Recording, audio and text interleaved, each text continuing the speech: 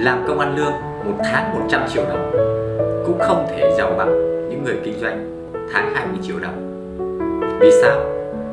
Vì người kinh doanh có cơ hội, người làm công ăn lương không có một cơ hội nào cả. Hết mồ hôi là hết tiền và hết công sức, hết sức lao động là bạn hết tiền. Người kinh doanh ít tiền thôi nhưng cơ hội của họ rất là nhiều. Ngày hôm nay tôi có 20 triệu đồng. Tôi còn đang âm cơ, nhưng ngày mai tôi có 2 tỷ đồng. Ai biết đâu được. Vì sao? Đó là cơ hội vậy, cơ hội đã đến với bạn.